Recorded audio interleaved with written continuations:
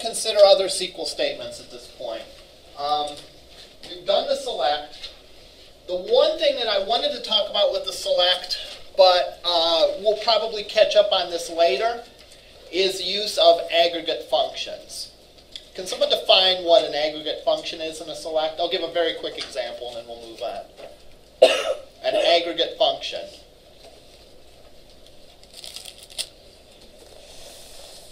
in SQL.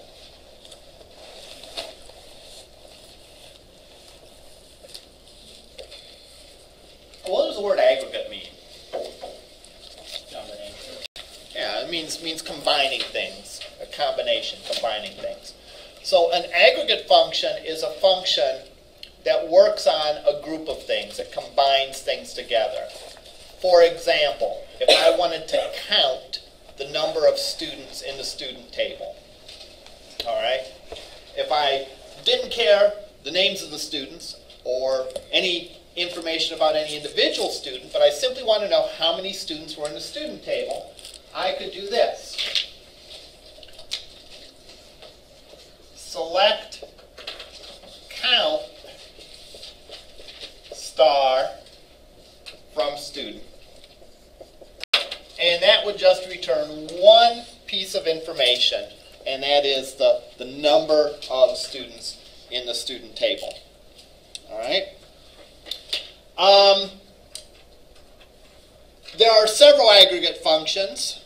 Um, there is a count, which counts the number of students, so that would be the, you know, that would be, you know, a count of the number of students. There, would, there is um, a sum, and it doesn't really make sense for students, but if, for example, we were looking at an order and we wanted the total value of an order, we could say sum of cost, for example. We could say average, something like this.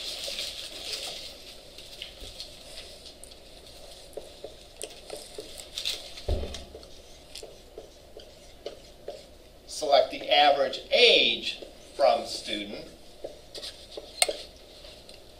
like that, and that would return the average age for uh, all the students. If we want to break down those totals by some component, for example, we didn't want to simply know the total count of all the students, but we wanted to know the students broken down by state we use the group by clause. And that would look something like this. Select state, count star from student. All right. And what that would do is that would give you a list of state, student, and number of students. So it would say Alabama, 5. Arkansas, 10. Uh, Connecticut, 30. And so on down the line. All right? So it would show you a list of the states and the count of students by that. Yes? Could you say where state equals Ohio and just get the list of Ohio students? Well, if I said where list, well, if, if I said where state equals Ohio, I could. Oh, oh. First of all, there's a mistake here. I forgot the group by clause group by state. All right, and again, that will give me Alabama 5, Arkansas 10, and so on down the line. Now, if I said where state equals Ohio, yes, I could. And what that would do is that would just give me one number. It would show me Ohio 35. And then there's no need for the group by, correct? no, there is a need for the group by. Okay. If, if there is something in the select that is not an aggregate function, it must be in the group by. So if I wanted to break down by city and state, let's say, and I change this to say select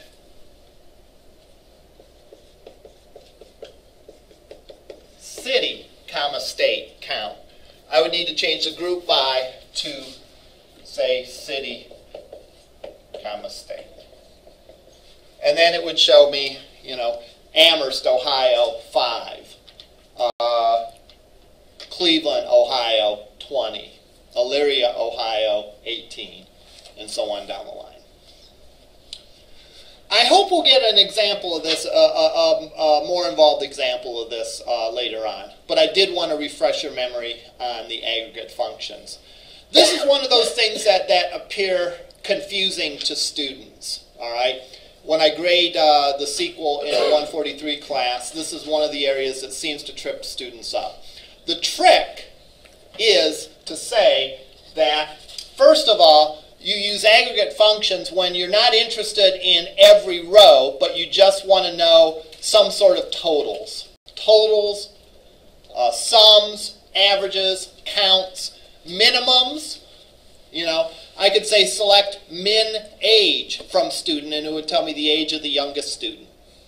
Uh, maximum, select max from student, and it will tell me max's age. No, it will tell me the age of the maximum student, or the maximum age of the student.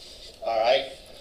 So if you don't want to see the detail, but you just want to see some sort of totals, uh, use an aggregate function. Use a group by if you want those totals broken down by something. And what you're going to have is either is that everything on the select is either going to be an aggregate function or included in the group by clause. If I said this, I would get an error because state is not included in the group by clause. If you didn't have a group by at all, would you get an error? Or would If, you, if I didn't have the group by at all, I would also get an error. Yes. Could you switch the two, state and city? I could switch the two, yes. And that would just, uh, that would uh, change the order in which it was sorted. So, for example, if I said, in fact, state city is probably a better way to do it because then it would show all of the Alabamas broken down by city, all the Arkansas, and so on down the line alphabetically. The other way I did it, it would show all the A cities, regardless of the state, all the B cities, regardless of the state, and all that. And that's probably not as good a way of organizing it. That's probably a better way.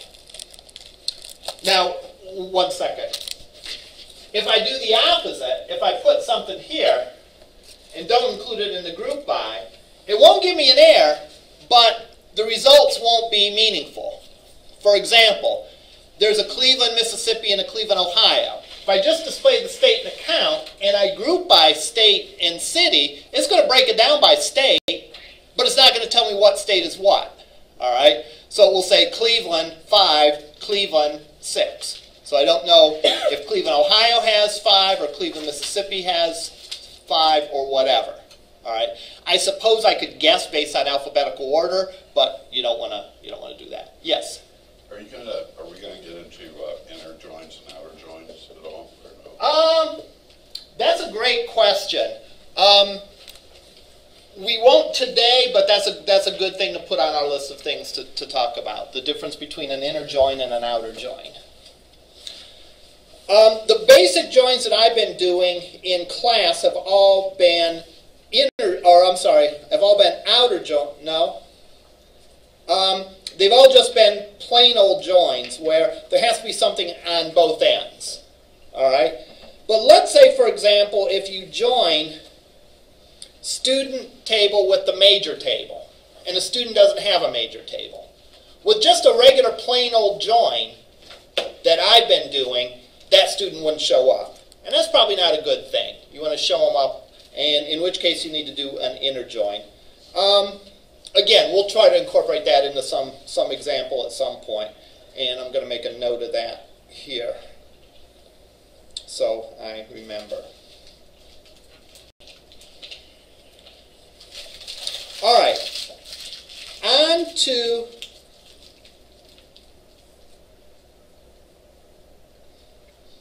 on to the SQL statements that allow you to actually change the data. These are actually, in a, in a lot of ways, simpler than the select statement. Largely because the select statement has a potential to uh, hit multiple tables.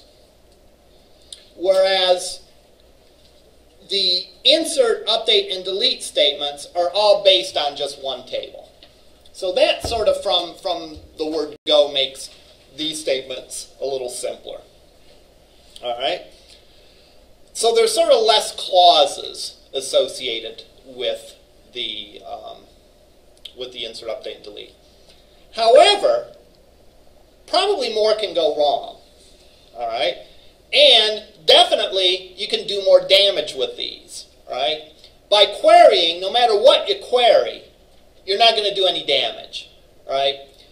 I might write a query that's incorrect, you know, and maybe it doesn't return any results, or maybe it returns results that I wasn't expecting or don't want, but at least it doesn't do anything to damage the data. All right?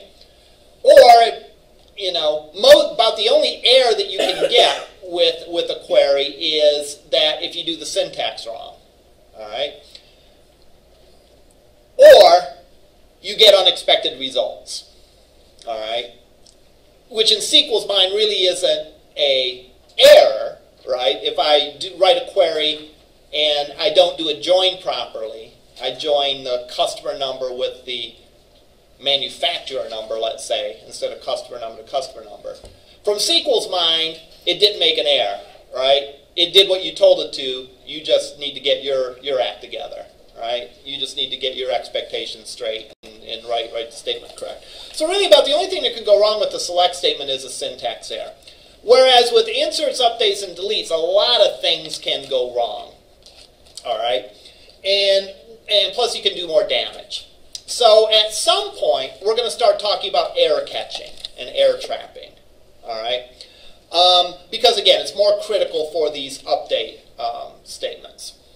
All right, let's look first at the delete statement. All right? And we'll talk about it, and then we'll talk about what can go wrong um, with the delete statement. All right. delete statements look like this.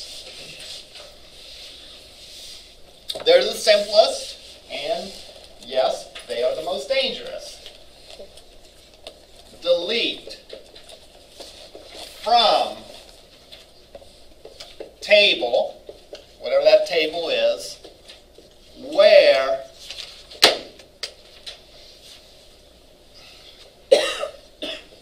something equals some value. That would be sort of the generic form, assuming that something was a column that contains text. If it didn't contain text, then you would not need uh, the quotes around it. All right, let's talk about a specific example of a delete statement. Let's say we wanted to delete a student from the student table. If we want to delete one specific student from the student table, and this will also apply to update statements. If we want to update one specific student from the student in the student table, we want to use a primary key in the where clause. All right? We don't want to use name.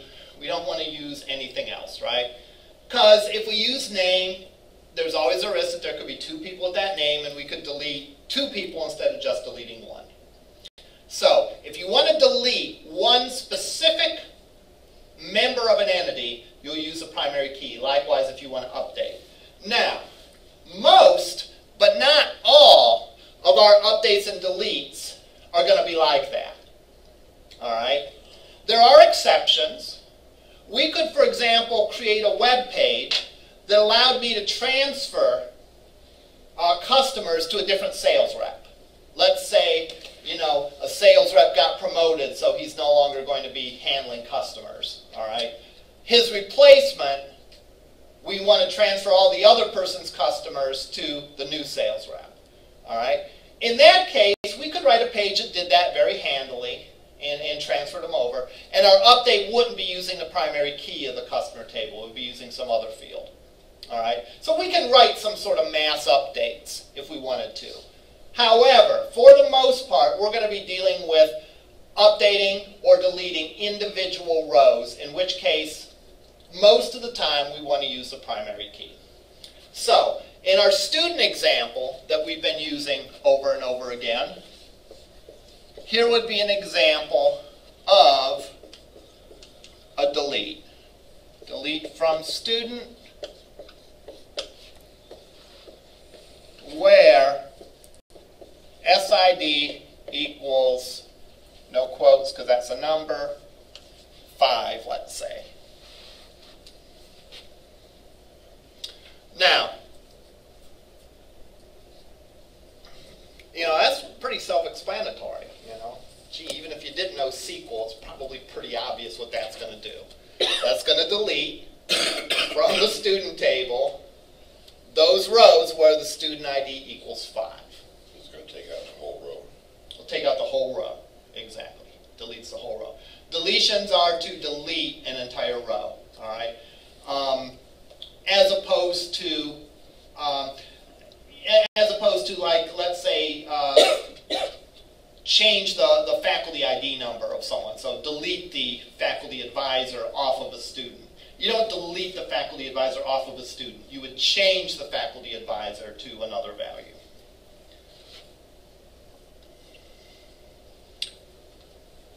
You couldn't do this to, for multiple tables? even You if- cannot, well, good question. The question is, can you do it with multiple tables? No, with an asterisk next to it. All right, with a, with a catch. You cannot have more than one table listed in a delete from clause. All right. That being said, a delete can delete from more than one table. What's the catch? I just said you can't have more than one table, and then the second later I said the delete could delete from more than one table. Cascade. Uh, the, and the catch is a cascading delete. For example, if there was information that was related to the student, I was gonna say, like his address or something. yeah, and there was a foreign key for that. Let's say there was a student phone number table. That's a good example. So maybe we have tables that look like this. We have a student table that has a student ID as a primary key, has the name, and so on. Then we have a student phone table. Now, and this would be a good normalized way to do it, right? Because a student could have a home phone, mobile phone, a work phone number, and maybe some other phone numbers too. All right? So, we could develop a table that looked like this student phone ID They had a uh, had a foreign key for student ID.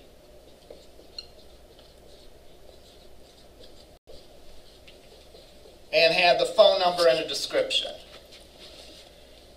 If this was set to cascade delete, if I deleted the row in the student table, it would delete all the rows associated with that student in the student phone table. All right? Now, key thing to remember, the reverse isn't true. If I were to delete a student phone row, it would not delete the student. Which makes sense, right? What's the whole purpose of cascading delete? The whole purpose of cascading delete is to not orphan a row in the table. So if this relates to that, all right, if this is this row's parent, all right, if I delete this, I can't leave rows in this table there by themselves. Yeah.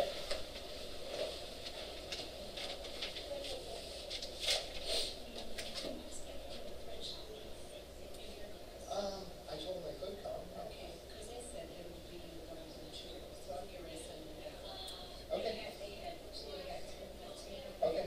they got your name, Okay. they got people who were Okay. two, they went over there. Oh, okay. So I'm sending. All right, sounds good. All right. Now, you set up cascading delete and access there. Well, you set up cascading delete in, in whatever the database platform is. Yes. So you would set up the cascading delete in, in Access. So you would decide for each table, for each relationship, does it make sense to cascade delete, or does it make sense to restrict delete? All right. The two main things that you have is you have cascade and restrict. Other databases give another option, but at least you're going to have cascade and restrict.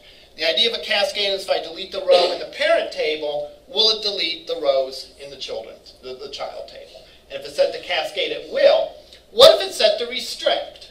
What if I set this relationship to restrict deletion in the student phone table? We'll let you, It, exactly. It would not let you delete the student if there were rows in the student phone table. Now let's think about that for a second. Is that something that makes sense in this particular case? Would I, uh, would I ever want to, you know, would I restrict deletion or, um, or uh, cascade deletion in this particular case? I cascade it. Yeah, I'd cascade it because if the student is gone, it makes no sense for us to keep their phone numbers. All right. We have some visitors, by the way, that came in. That's what uh, a second ago uh, they were inadvertently sent to the wrong room. These are visitors from a, a school in France, and they're here to observe um, what we do. All right. Um, so, good morning to everyone. Or, or wait a minute, wait a minute. Uh, Yeah, well, bonjour would be good day. Yeah, that one I know. I was trying to think of good morning. Bon matin? Bonjour. Bonjour? Okay, all right. So I had I had two years of high school French. So I can that means I can say five things. All right. So uh, yeah, well, I, uh, boy, I, I can't even say I can't say that I can say five things. So I'm in bad shape. Uh, at any rate, uh, and what school are you from? Chambéry. Okay. And what what what are you studying? What were your courses of? Business. Okay, business. Okay. Uh, well, it's good to have you here. Um, this class is a web uh, database class, so we talk about uh, database interactivity and, and and putting stuff on websites. Right now, we're learning how to delete stuff from a database. All right. Okay. So in this particular case, if we had two tables, one for student and one for student phone number, it doesn't make any sense for us to keep the phone numbers if we want to get rid of the student. have orphan data floating around out there. Repeat, please. You'd have orphan data floating around. Well, there. well, again, no, we wouldn't, because the only two options are to cascade or delete, or, or, or restrict rather. So either when we delete the student, would delete all the phone numbers associated with that student, or it wouldn't let you delete the student. That's the beauty of relational databases. All right, if they're defined correctly, it won't let you have data that violates the referential integrity. Um, now, this is a pretty obvious case, right? Because it doesn't make sense that we would want to keep the student's phone numbers if the, the student wasn't there. In uh, um, student phone number is would be called uh, this table would be called in database terms a weak entity. All right. What does it mean to say it's a weak entity? It means it, it depends on this table. If that row isn't there, then these rows don't make any sense. All right? And therefore, typically with weak entities, you want to cascade. All right? Now, what's the difference of a weak entity? A strong entity.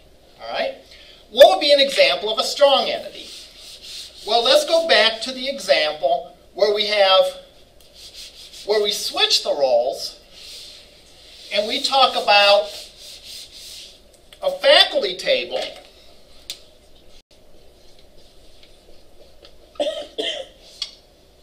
which maybe has a faculty ID in it as a primary key and has a faculty member's name and other information.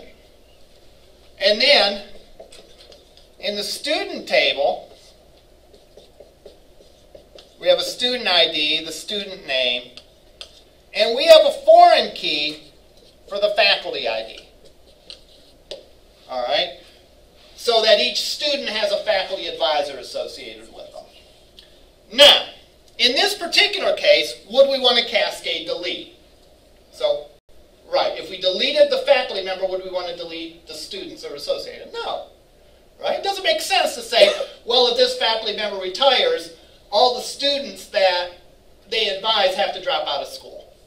It doesn't make any sense to, to do it that way. In database terms, that's because a student is what is called a strong entity, right? A student has a life on its own, all right? We're still interested in the student data even if that relationship goes away and that faculty member uh, is deleted, all right? So in this case, student is a strong entity, so we would not cascade delete. Restrict deletions. What does that mean? That means we would not be able to delete a faculty member as long as there were students that that faculty member advised. So, if we would try to do this, delete from faculty where FID equals 523, let's say. If faculty member 523 had some students that they advised, that statement would fail and we would get an error. Okay? Yes? So you'd have to update all of those Right. files first, then delete. Yeah, and what you could do is you could do this through the user interface, right? Um, you wouldn't necessarily have to go through and manually change each student. For example, if you wanted to write a real slick interface, if you tried to delete a faculty member, it would run out and look to see are there any students associated with them. If there were students associated with that faculty member, it could pop up a window that would say, "What do you want to do to this student? Do you want to, you know, do you want to transfer it to the student? Do you want to, you know, do you want to transfer to another faculty member? Do you want to, um, whatever for that student?" So you could handle it through the user interface to make it seamless. All right, but remember, on the database level, you want to restrict deletion. All right, in this case so that the database doesn't allow a student with a faculty member that doesn't point to an actual faculty member. So yeah, through the user interface, you could write a little transfer program to transfer all those students or whatever, but on a database level, you would prohibit that. Can you do like a mass, uh, change, mo- modify? Exactly. And what that would look like, this is a little bit ahead of that, but ultimately we could do something like this. Let's say if I win the lottery and retire, and all the students that I advise are transferred to NORAD, let's say. And let's say my number is 523 and his number is 111. We could actually write an update statement that would say, update student set faculty ID to 111 where faculty ID equals 523. Now this would be one of those rare cases that I said before where I said usually the where clause is going to be the primary key. This would be a rare case where it's not the primary key, it's something else. All right. So yeah. Now we wouldn't just have a statement like this in our program, right? Because we don't want to every time someone retires they get transferred to NORAD, right? That that wouldn't make sense. But what we could have is we could have a user interface where they could select the professor that they get assigned to, and then you could click the button, and it would go ahead and execute a statement that looks like this. Then you could go back and delete the faculty. And then you could delete it. In fact, you could have it all in one action. You click that button, first it does the update, then it goes and does the deletion. After you've assured that the deletion, or I'm sorry, after you've assured that you've, you, you removed everyone associated with that faculty member. So, deletions can fail if there is a foreign key uh, constraint, due to foreign key constraints. And again, foreign key constraints either can be to update, I'm sorry, either to cascade or to restrict. All right? Now, keep in mind a couple things. First of all, a delete statement will either completely succeed or completely fail. All right? A delete statement won't halfway delete something. Let me give you an example.